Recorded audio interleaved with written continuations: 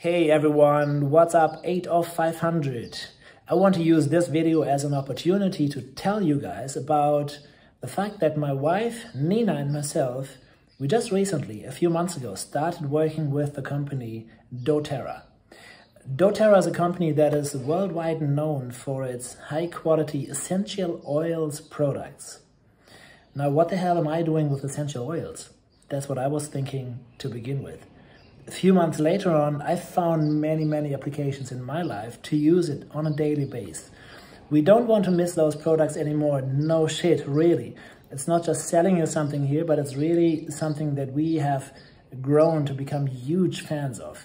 It's awesome products. You're doing something for a very good cause and we don't want to miss it anymore from our lives. So if you are eager to find out something more about doTERRA, check out the link in the description to this video or hit me up on Instagram by email or as a comment on this video. I'm looking forward to see your feedback, to see your questions, and that's it for today. See you tomorrow. Bye.